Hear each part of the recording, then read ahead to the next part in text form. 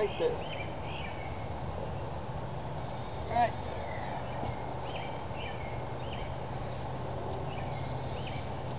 That's what I'm talking about. It was worth the wait.